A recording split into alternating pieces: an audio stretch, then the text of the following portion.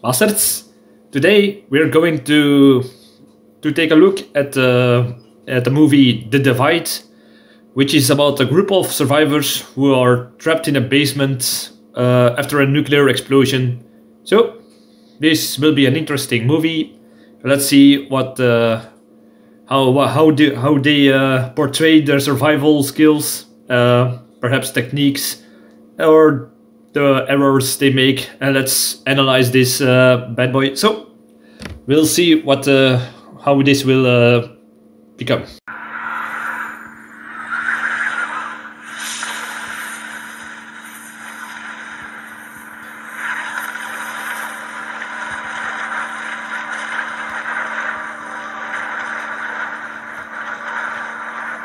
Wow, that was fast. Uh, only a few seconds in, and I see a major uh, problem. Um, yeah, the like I said in of one of my in the series of the nuclear disasters, uh, especially the part with nuclear weapons.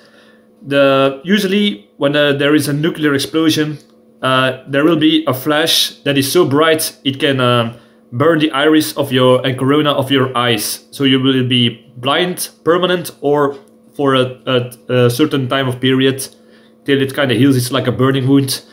Uh, and yet she's looking right at it. You can see in her eye the rockets, the the reflection of the rockets that go down.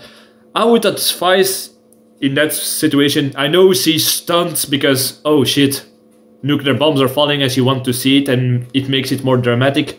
But the moment you see those rockets, turn around, go inside of the building, uh, cover your ears, open your mouth, um, to to prevent that your uh, eardrums will pop uh, inside of the building and turned away, so the flash wouldn't blind you or burn your skin. Uh, not to mention the flying glass from the shockwave that will, will undoubtedly follow on this.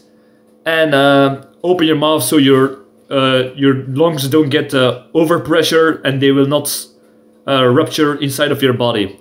That's why you keep your mouth open. So, um, yeah, I know she's in shock, but she this girl would already be blind uh, from the flash uh, normally. All right, let's see how this will go.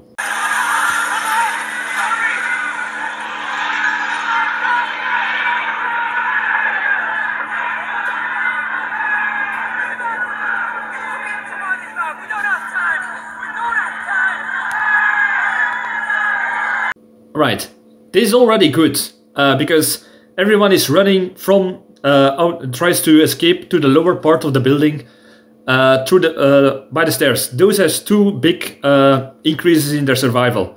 First of all, uh, if you go through a stairs instead of an elevator, of course, it's logical. You have, have more say. You will have more chance to survive a blast wave that is coming for a very slow reason. I, for some reason around here. And stairways, especially emergency stairways, are built in such a way that they uh, they are less uh, uh, prone to uh, collapsing or other dangerous no, like fires because they are made uh, like they like they are not that flammable as the other parts of the building are more sturdily built. So that's already good that they go from the stairs.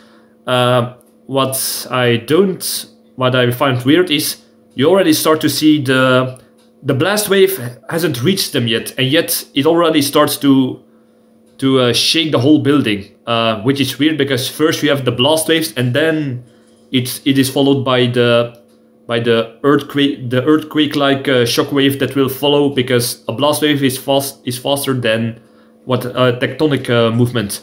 So that's already weird. But yeah, those are two good uh, things they already do here. Second thing from the stairs is uh, if you go to a lower uh, part of the building, you have more chance to survive because when a building collapses, the tops, the top uh, floors will be crushing, crushing, crushing, crushing, and at a certain point, the there is too much material to crush. So there, uh, under beneath those, uh, there will be more holes uh, or intact floors that will be um, helping you survive because you have more space instead of those collapsed, uh, collapsed uh, upper floors. So already also good to go to lower floors. Uh, what I don't like is everyone where where is everybody going? Because they, they it looks like they go downwards and they try to go outside for some reason. Uh, in this case, in the, going in the middle of the building is your best chance to survive. Not only the flying glass, debris, and such, uh, and the flash, but also for the collapsing of the building. So, uh, I don't know what these people are planning, but yeah, that's already that's another thing that we can learn from this.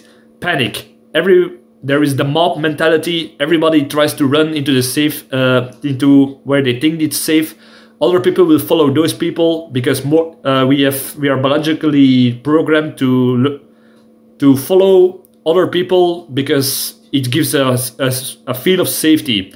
But in this case, it can be very dangerous because everybody now who wants to get out of the building for some reason is packed together. It's a stampede, except for the few survivors that will be be told by some guy to go into the basement. So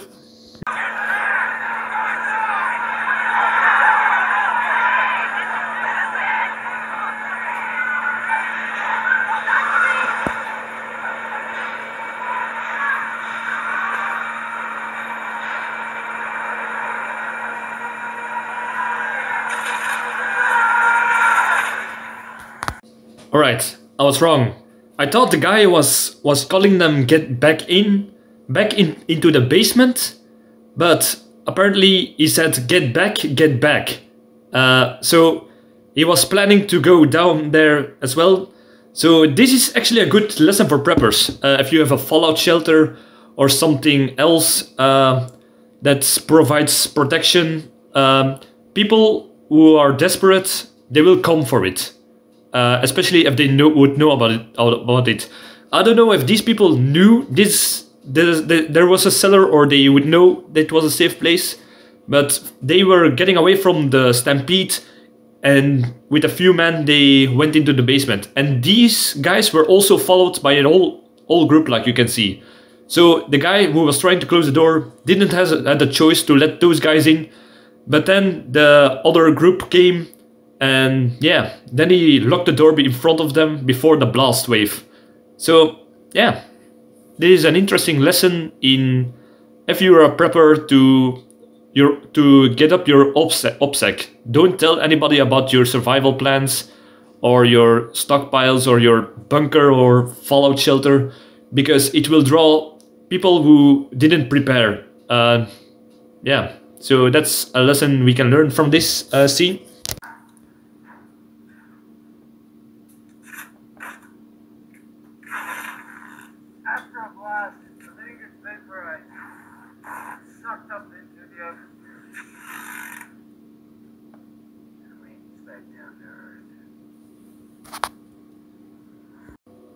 All right, this character I like. I like the way he's thinking. Uh, the clo after the nuclear uh, explosion, everybody they survived the initial blast, and now he knows the next the next day he's starting to tape off the the doors. Yeah, that's a uh, that's a good way to uh, try to help to get uh, radioactive particles and dust and and smoke perhaps out from outside the door because the door is higher up and has more chance to leak to leak or have more openings. Um, I'm still wondering where he, this guy gets his fresh air because I don't know if he if he's got a an air filter and pump system to get to filter air from outside uh, from the, uh, from contaminated particles and get fresh air inside of this uh, enclosed uh, shelter. But we will see what what this guy will uh, will do. He seems prepared actually if you think about it.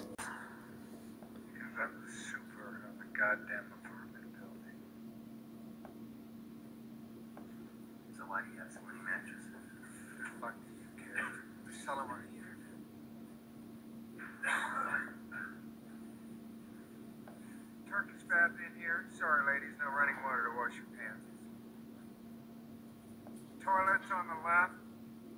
Septic. So throw some lime on top of it. That's fucking disgusting. It's called saving water. I like this guy. he says he built a basement to a fallout shelter My his is just a janitor on this building apparently, and in all this time he has prepared with with food, ways to to get electricity with a generator. He knows he even got had plans for more people because the guy asked, "Why do you have so many mat- mattresses?" Um, and he says uh, that it's because uh, people threw them threw them away from upstairs, and he kept them and reused them. So that's already a good way of thinking. Um, and he even built a, a toilet. This is what I this is what I really like because the toilet he says doesn't run on water. Uh, you got to throw some lime on every dookie you take, um, and that he built it in here, here inside um, that way to conserve water. That's this guy is is already my favorite character. He's he's a real prepper to say, and yet he's he's explaining how everything will work down here to these other people who who are still in shock from the from the reality check they they got, and yet uh, he, this guy that you in Leatherfest, he's not re- not not mentally ready yet because he looks at the toilet and he thinks that's di- that's disgusting. That's uh, not a really a survival mentality. Uh, that's reality that has not been sinking in in this guy. So, uh, yeah, it was already good thinking of this guy. Uh, I like him. What are you doing? Get away from the door! I won't tell you again! I told you! Josh! Get away from that fucking door! Get away from the goddamn door! Come on! Shit! Fuck, Mickey! God damn it! Fuck! Fuck, bring him out with that ass, huh? Keep pushing me, Mickey. Keep fucking pushing. You see what happens. This this seems so realistic actually, because one of the guys, like I said before, who has not been to the real- reality check, has no survival mentality, a skill already. He is goes a little bit mad already, cabin fever after one day, which is fast to be saying. You would expect this kind of behavior after being cooped up a long, a ver- uh, after a week perhaps. But this guy already after day one he is goes a little bit mad. He wants to to get out of the door. Um, I think that this guy is, uh, claustrophobic, and perhaps that's the way why he's already in this uh, short time already reacting this uh, heavily on the situation. He wants to go outside and want to open the door, but uh, I'll, I shall call this uh, the good character Prepper Mick. Uh, Prepper Mick is uh, is protecting everybody by uh, he's willing to use violence to protect these people from themselves because he wants to open the door while there is fallout and uh, he was uh, I don't think he really wanted to hit those guys. He was just wanted to scare them. He thinks because if this guy is as prepped as I think, he he would have not missed with the with the X because I think I think he did it on purpose to just scare them off. Um, and what I also like is the guy after he scared them away from the door, the guy was still mad, pissing. He was spitting at him, uh, cursing him, and uh, yet uh, Prepper Mick remains calm in this stage of the engagement. He did not go further.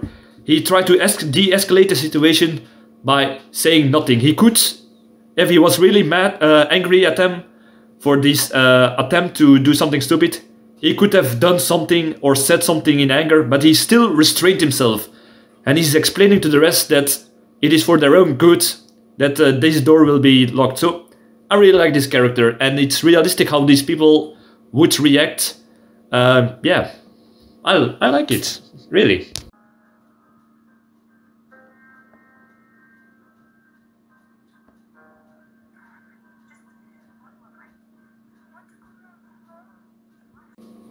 Beautiful, beautiful, beautiful. The first of all, they cook uh, they cook a dinner in one pot uh, to eat together from it. So that's already good in a stressful uh, menta- uh, in a stressful situation with a group, because to eating together will uh, will make more bonding.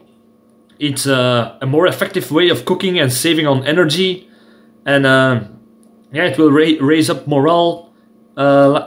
Uh, yeah, this is very good. And uh, I saw they were cooking beans, uh, which is a very good um, source of protein, fibers, uh, fat, and uh, other nutrients that you need. Um, it's uh, a food uh, how do you say this? A food staple that is very good in a long-term survival situation. So yeah, I already like this. And what I like even more is while everybody is still while everybody is waiting for the till the cooking is done, uh, they are keeping themselves occupied with conversations, reading anything they can find to keep themselves occupied, and they they are powering this whole thing with a bicycle with a dynamo powered bicycle that is standing over there. Uh, so they take turns to keep uh, the electricity up. So that's also a way, good way to not only uh, get energy in this uh, for energy for light in this closed environment, but also probably for filters uh, for a filter system. I think I have not seen it yet, but it would make sense how they could survive this long uh, in a closed space space without uh, with only the oxygen that is inside of this. So that's already good, and uh, yeah, it's also a good way to keep in shape, which is very important in a, such a, a survival situation, uh, especially in a tight enclosure like this. So I really like this scene. Uh, so far, it's uh, very realistic. Man, come on! Why don't you get Sam, please stop. Please stop.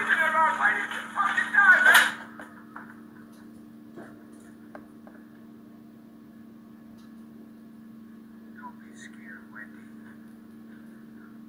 Uncle Mickey only slaps little girls. You're a big girl, aren't you? Want to see a magic trick? I'm gonna take my thumb off for you, alright? Yow! God, that hurts. Oh, I like this guy.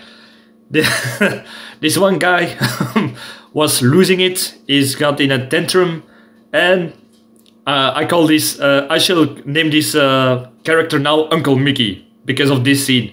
Because he slaps the guy to get him a little bit in check into reality uh, on a not that violent way, to be honest. Because he could have uh, slapped with a fist, but he used his flap, flap hand to get him into out of his shock.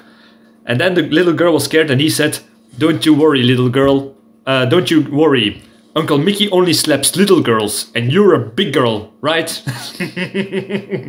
I love this scene, and yeah, he tries to comfort the little girl, makes a, uh, he tries to make some little jokes to feel not only the, the little girl but also the other people on there uh, a little bit better uh, uh, to to de-escalate the situation because of making some jokes after this uh, tens- tension situation. So uh, I like I like this character Prepper Mick.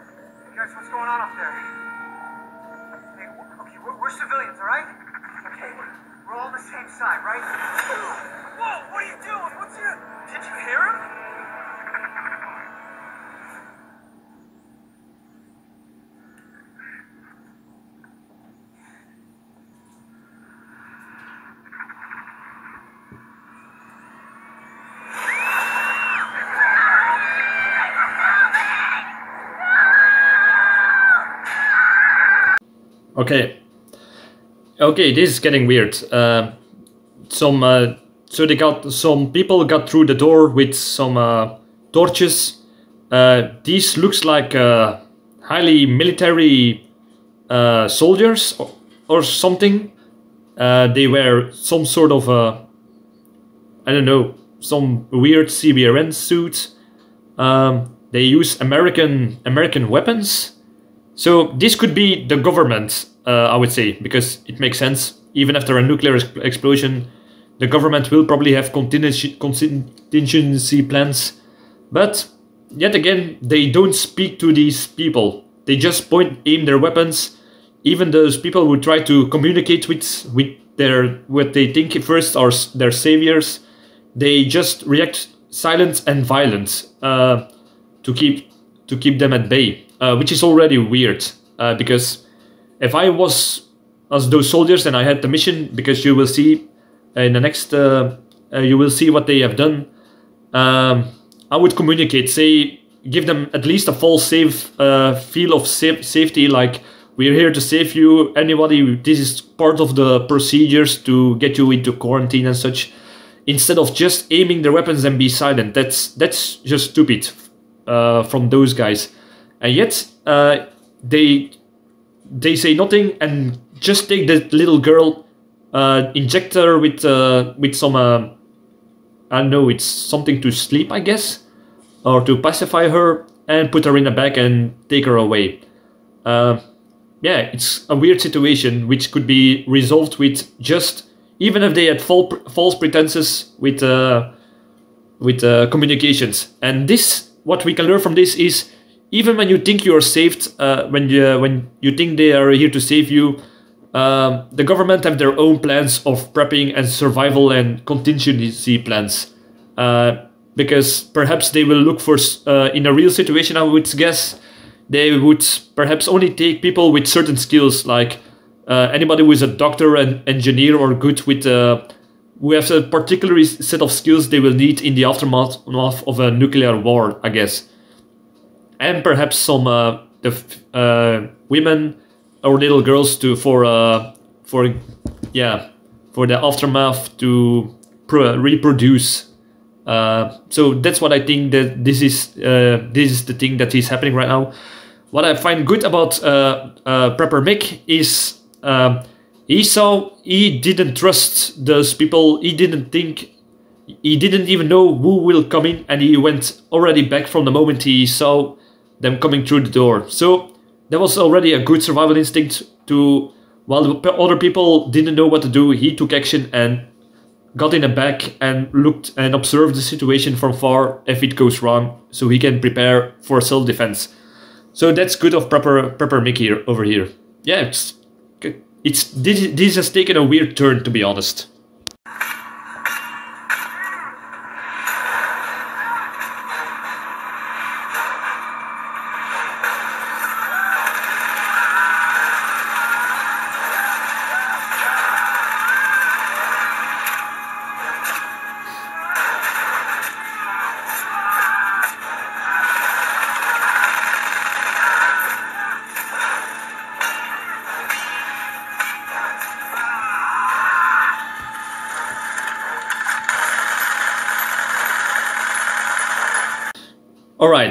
So some people got also got also scared, got in the back, and those military guys followed those followed them, and uh, yeah, everybody did a few things. This is also good, uh, very how do I say this? Realistic.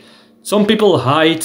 Some people just wander, uh, uh, run around in the hope they would lose them. As and people like that uh, black guy, the guy with the leather vest, and of course Prepper Mick, they hide and grabbed the, the nearest weapon they had, um, and they started. Uh, they came out of their hiding spot when those guys uh, with guns got in. So that's a survival tactic we can we can think about from a, like a spree killing or a terrorist attack. The same things can be applied here: run, hide, uh, or fight back in the last instance uh, as a last resort. So that's a very good thing here.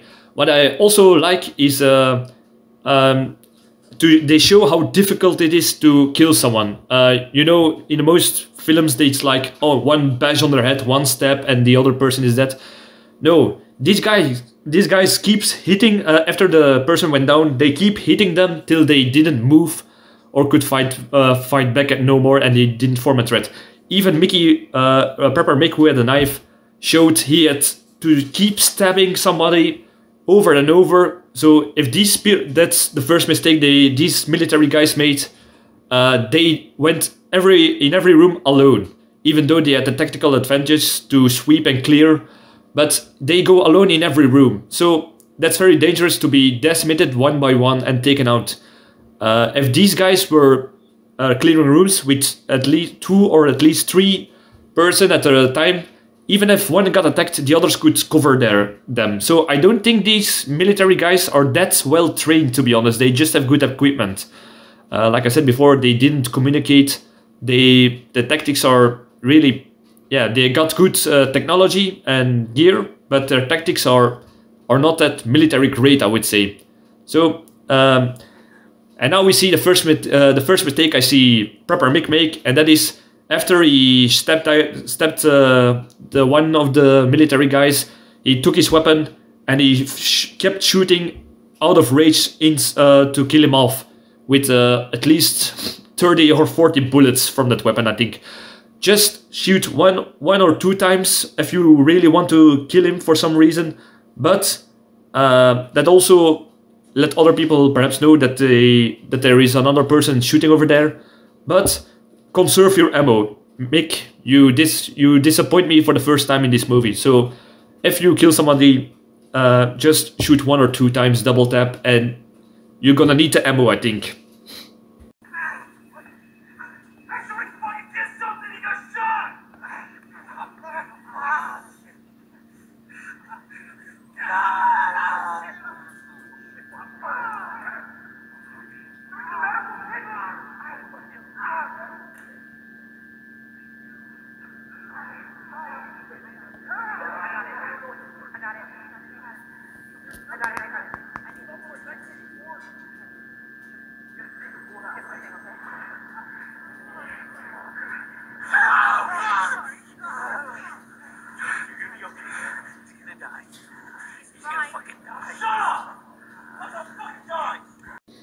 Alright, they scared those, uh, they fought off those guys outside, outside of the bunker, and we now see uh, something also realistic. People who are wounded and not just shot dead immediately.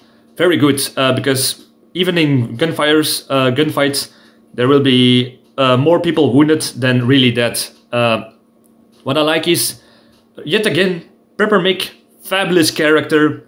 He he thought through and he threw he threw a bandages kit, uh, kit uh, towards the people who were already uh, focused on the wounded people. So he knew he's he's now walking, uh, keep on walking with a gun to repel another attack if they come back in. He knew if he uh, would uh, be busy with with the other people, they are not level-headed. They are busy with each other and with the wounded. That somebody uh, keeps an eye on the threat. So also a good move from uh, Prepper Mick over here. Uh, what I also like is uh, there are certain people who are in panic. They they try to do to help even though they don't know what they're doing. And some people are level-headed, like that girl. I think she she used to have have some uh, some ties to professional medical uh, jobs or something, or had some some first aid lessons or courses because she keeps calm and she and she tries to comfort the wounds, the wounded. Uh, she tries to she already doing some great first aid by putting pressure on the wounds, and even when and they are talking to the wounded person that everything will be fine, which is very good because if a person who's wounded uh, thinks he is getting in more and more in panic, uh, their heart rate will go faster, so they're bleeding faster out, and they move more, so there will be more tissue that could be damaged in those wild movements because of the panic. So try to stay calm. Uh, try to g- how do you say this? Try to keep the people who are in panic. Try to make them calm, like you see, and let the people who know something about uh, medical procedures uh, work on the wounded um, and comfort comfort them. Yeah, that's a good lesson we can uh, learn from this. Very good, very good.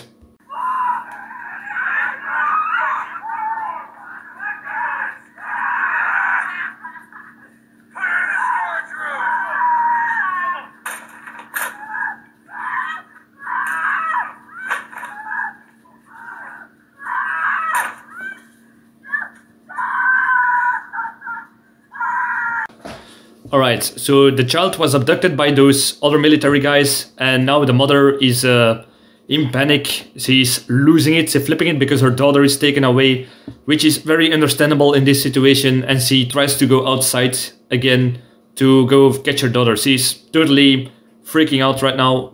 And what we can learn from this situation is the it takes multiple guys to keep her restrained, restrained from hurting either uh, either herself and other people uh, in her while she's freaking out. So that's realistic because usually they uh, movies they use one one of the strongest guy to keep somebody uh, under the thumb, but no, somebody within who is freaking out uh, can do a lot of damage. Uh, so you need mul multiple persons to keep them uh, restrained.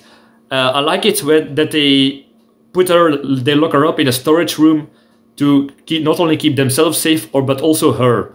Um, but yeah, that's a good move, I guess.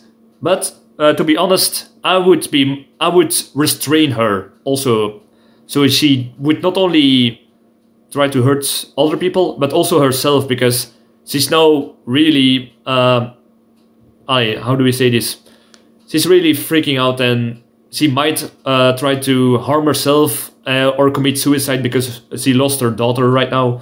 So that's uh, perhaps something I would have done differently in here, but uh, everything else great, realistic. Uh, uh, I would have done the same thing, to be honest.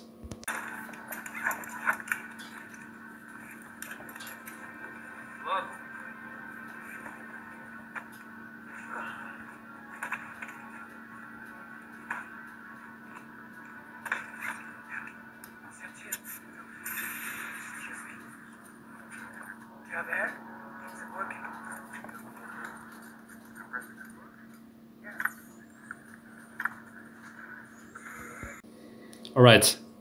Now we see that uh, some some some guys put, uh, put on the has uh, they they call it hazmat suits for some reason.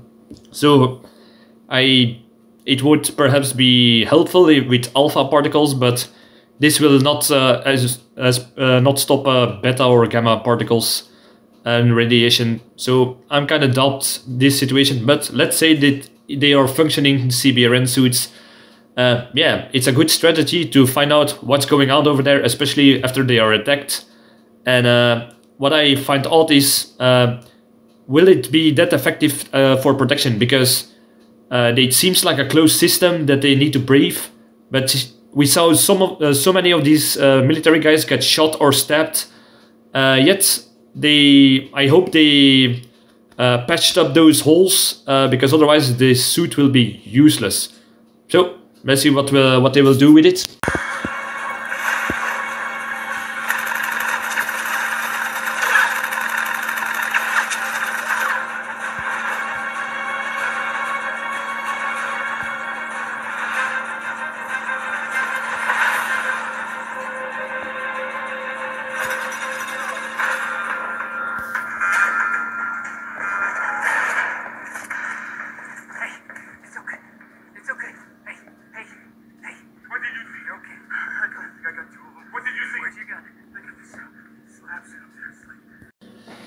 All right, uh, this is a very weird situation. Uh, so outside of the bunker, there are tunnels made out of some protective plastic, uh, I guess, uh, and it is uh, connected to the to their fallout shelter for some reason, which is very odd. Uh, that means they will would later have come back, perhaps.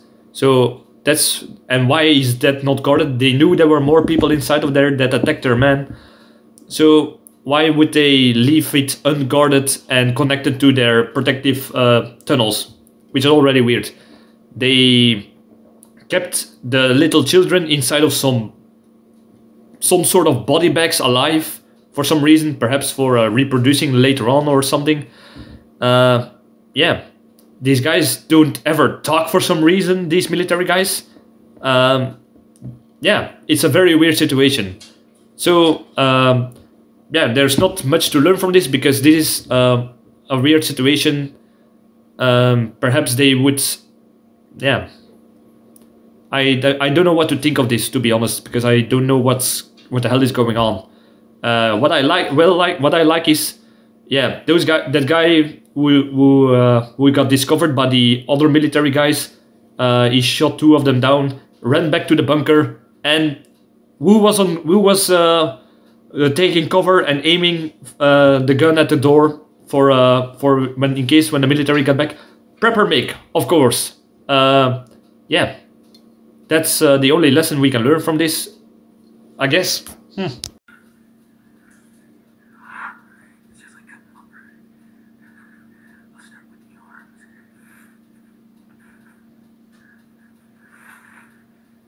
I'll just get my swing down.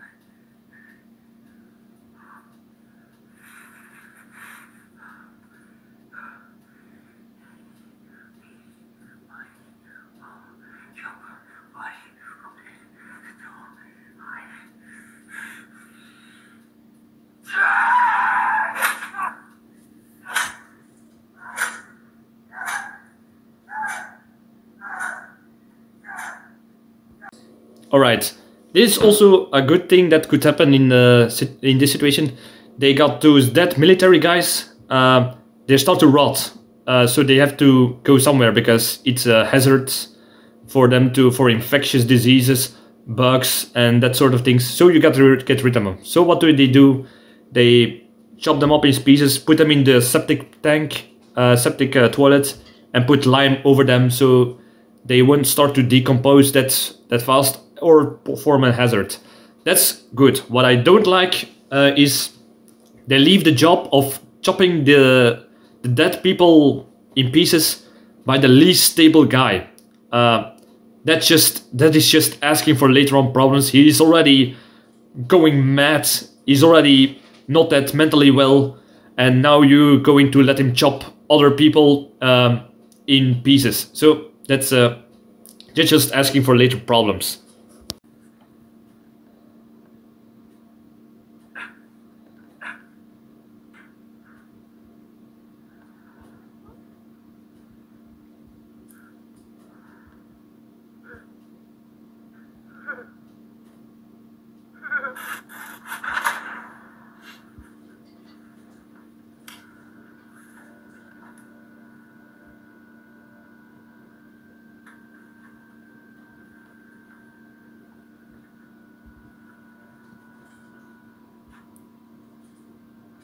They got guns. See, I told you he was holding out on us. We should still kill him. Shut up, Bobby. All right. So much as has happened now. Uh, they were beginning to get some tensions because the rations were cut to a lower level. Uh, people started losing weight, and they noticed that Prepper Mick didn't lose that much weight uh, compared to them. So, um, yeah. So they started to get suspicious. One guy tried to threaten Mick with a taser to open his secret door uh, uh, to uh, to reveal to him what's behind it. In the struggle, they Prepper Mick uh, shot the guy. The other people uh, were in panic. They overwhelmed Prepper Mick, and they also get suspicious. And the two most in- unstable guy were torturing him for to show what's behind the hidden door because it's uh, locked with a safe combination. So they cut off his fingers to uh, to make him talk, to make Prepper Mick talk, which is very bad. Um yeah, I kind of I kind of feel bad for Prepper Mick. So what's behind his uh, secret door? Uh, more another uh, secret uh, stockpile of food and water. Uh, yeah, so the people are, are now pissed that Prepper Mick uh, held on these supplies on them. But to be honest, I'm 100% uh, agreeing with Prepper Mick. Um, yeah, because he was in charge of the rations and he told people to eat less so they would hold on longer uh, because the food, the regular food stockpile was shrinking. Uh, yeah, these people they are they are still not used to this. They are have no survival instinct, so it's harder for them to to live in a lower basics uh, lifestyle than they are used to, especially in this stressful situation. So yeah, tensions start to start to rise. The mistake that Prepper Mick make made in this uh, occasion, the second mistake he made in this whole in this movie whole movie so far, is that he didn't uh, eat the same amount of food that the preppers were, that the I mean the other survivors were. So that way he got noticed that he didn't lose that much weight as the others, and that got them suspicious. So Prepper Mick, that's your that's your that's on your your mistake. If you're going to cut rations for other people, you have to do it too. Uh, for two reasons. Uh, one, uh, you will be you they will be suspicious that you, like I said, uh, don't lose that much weight. Uh, second, uh, even if these people will discover about your hidden stash, stockpile of food and water, if you were eating the same thing as they do, uh, they would understand in a way perhaps that you try to make it longer so they won't use that much food. Uh, yeah, so now you lost all trust of the your fellow survivors.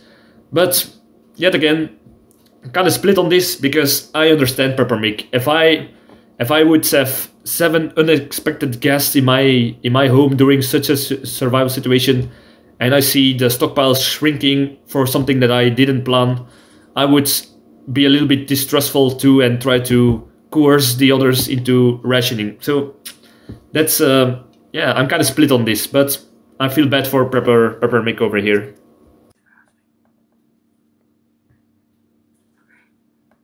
Of course, even if you want more, I'm open to barter.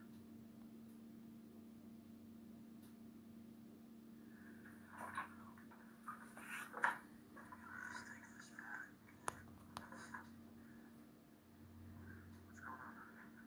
What's going on? All right. So the unstable guys from the beginning, they they started losing it. They are now uh, defending. Uh, how do you say this? They took over the the with the use of the weapons they got. They start to get control over the supplies now. So with Prepper Mick out of the way, they start to fill in that vac- vacuum of a leadership in a way, but they are starting to get this is starting to get out of control. These start these guys are starting to- losing it, and they say they have to they they say they are in charge of rationing, and yet he he says this is your rationing, but I will barter I will barter with you if you want more. So the what he's trying to implying is to this girl is I will give you more of the, of the supplies if you go to bed with me or something, or some other uh, uh, weird things they started to do, to demand. So uh, that is in a way realistic because it happens in the past that when when the when the when a certain leadership and uh, hierarchy is uh, has gone away over a group, uh, people who are more impulsive or aggressive, they they start to take control over the situation. But that is only good for a short amount of periods, uh, for a short time, because we will. I bet they will start to rebel against this guy because he's abusing his his power that he got by violence, and uh, yeah, there will be no trust between in uh, two, the, the groups because now you got two sort two split groups around here. Uh, the people who are in control of the stockpile and start to get corrupt corrupted by either insanity or uh, egotism.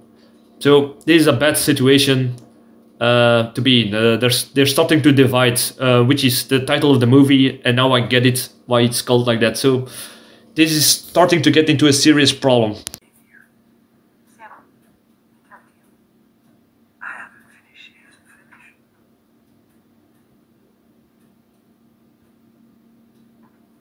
Oh, don't worry about Marilyn. She's uh, zoned out. You know what? You you should play. Yeah, come on, come on. It is very very bad.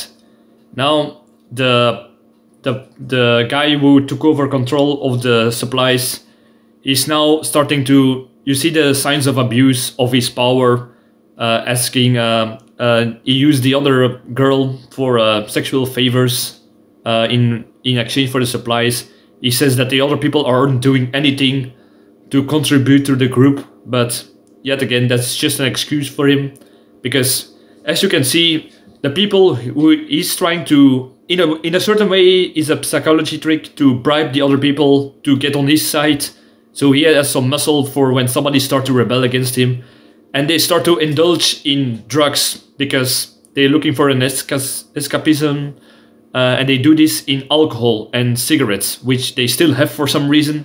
Uh, it's kind of weird, but yeah, that's a very dangerous thing to do. I would say uh, try if you if you have a situation where you're with other people, uh, try to cut off uh, on a try to build off the use of uh, cigarettes in the first place because people will get agitated when they do not get their nicotine uh, flash. Uh, I mean their nicotine uh, kick. So they st- will start to act irrationally when they are not getting it in a highly stressful situation. And also, I would uh, only allow a certain amount of uh, alcohol for each person, or keep it in the bag for uh, other purposes like disinfectants, because they, these guys are starting to abuse it. They, like you can see, they are starting to to abuse the substance, and they will make more irrational decisions, which will divide them even more. So that's is turning into a really bad situation. Uh,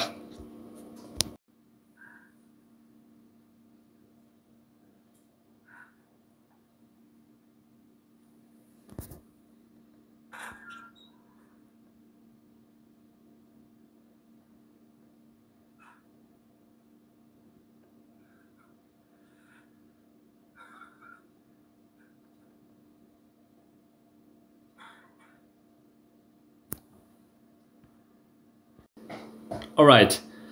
Yet again, brilliant move of uh, of uh, Prepper Mick, uh, because he would he would know that people will will got divided by some, by some reason. I think he should have. That's probably because why he distrusts those people in all that time, because he knew they would eventually turn on on each other and they will start to make uh, start to create factions.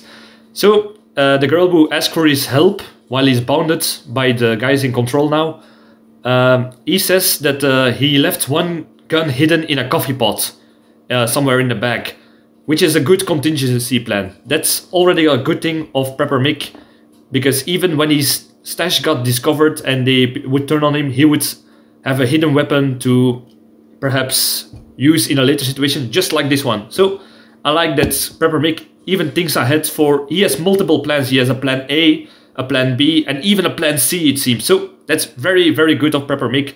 Although he could have uh, prevented this in a way if he would have cut the rations for himself the same way for his weight control.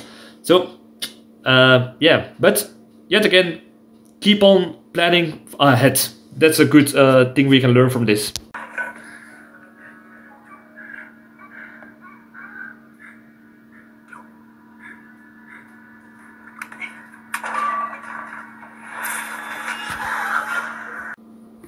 All right. So the factions start to kill each other and threatening and getting control over the gun. And uh, yeah, it's starting to be a Mexican standoff. Uh, some people got killed. And uh, what we can learn from this situation is uh, the girl is uh, who has no weapon um, is not directly seen as a threat by the guy who has the gun and he's about to shoot the other guy. And this girl uh, used an improvised gun. She took the shell, the, the the shell. How do you say this? The plate from the can, wear it off, and started to cut the other guy in his throat as an improvised weapon. Uh, this is uh, what we can learn is improvisation from this scene. Uh, that even everything in your surrounding can be used as a weapon, if it's for hitting, slicing, stabbing, uh, or choking. Everything, in a way, if you if you have uh, some imagination enough, and um, how do you say this uh, improvisation skills, you can do the, you can turn everything into a weapon, uh, and to your advantage. So that's uh, what we can learn from this uh, scene.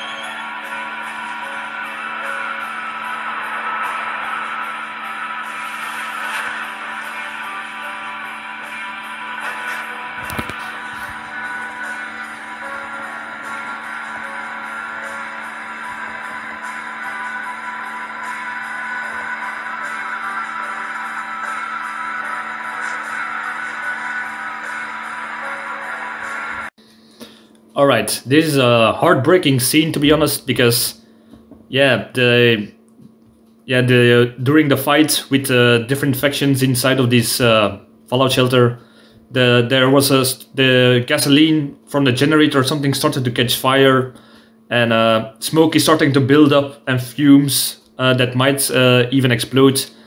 Um, and in that moment, the girl uh, she she's on she acts on her own right now. She only thinks her own survival now, takes on the suit, and uh, takes on advi- advice that uh, that Prepper Mick told her uh, during his capture, is that uh, he had a, a way out uh, inside of the toilet that will lead to the outside. So that's another, yet again, that's plan D for Prepper Mick in this case.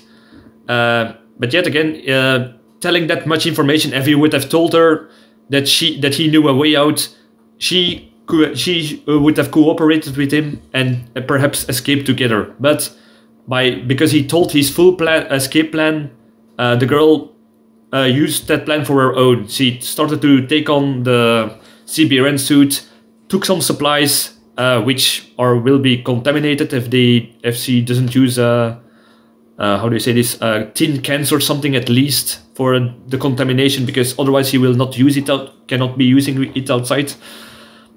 She escapes through the uh, through the septic pit uh, to the outside, while the smoke is killing the rest of the all the people, including Prepper Mick. May he rest in peace. Uh, yeah, and then the whole thing started to explode because the fumes start to catch on fire. So that's a really sad ending for Prepper Mick. Um, yeah, but to be honest, the girl, uh, she knew everything was fucked. The people uh, would never be able to to cooperate. Everything was going to hell. To hell. The fires. She knew there was no saving in this situation, so she started to act on her to act in her own uh, self-preservation. Which, as a prepper, I can even though it's it's hard to do uh, to leave those people behind. It's it's a survival. It's the best choice for survival, even though it's a hard choice to make. So yeah, it's a hard scene to watch. Uh, but yeah, that is sometimes in a survival situation you cannot help or save everybody. Sometimes you have to think of your own. Uh, yeah, which is which is very bad if you look at it from a comfy chair like here. But you must always ask yourself, uh, what would you do in this situation, and not always uh, what is the correct way, because the correct way is not always the the way to survive. So yeah, it's a hard scene.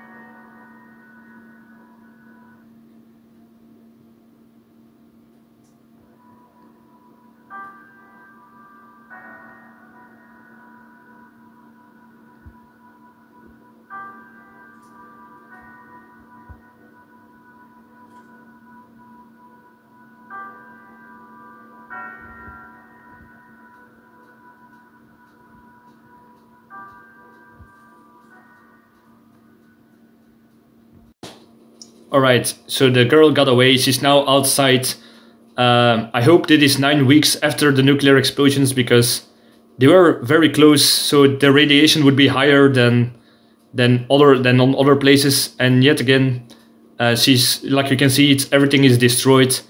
Um she now, I don't know if she will survive this because she only has a few rations, not enough water, and certainly she cannot use a water filter even in this highly radioactive uh, uh, situation outside. So I hope she will find perhaps uh, a way out of the danger zone, uh, the contaminated zone, or she will find help or uh, supply depots from the military guys from the before if they will not shoot her because that could be form another problem. So yeah, uh, I highly doubt her doubt her chances of survival outside of this. So, but yeah, she will die at least on her own accord. Um, so this was uh, the movie Divided. Uh, we learned some some survival uh, situations. Um, like we can see, Prepper Mick was a was one of the is one of the best prepper preppers in movies I've seen so far. Uh, he had contingency plans. He always knew knew how to react. And even though he didn't have to, he helped the others. Uh, even though that could be in his self-interest to not get a rebellion against him, which eventually happened because of this. So, uh, yeah, but if it wasn't for Prepper Mick, uh, all of these people would already be dead, to be honest. So, yeah, yeah, it was it was a good movie. It was kind of kind of realistic uh, on the. The only thing I didn't, the only part I didn't like were the military guys with their weird contingency plans. But hey, whatever. So um, I hope I'm going to do this in the future again. Uh, subscribe, like. I hope you learned something from this uh, reaction. Um, so see you in the next video. Thank you.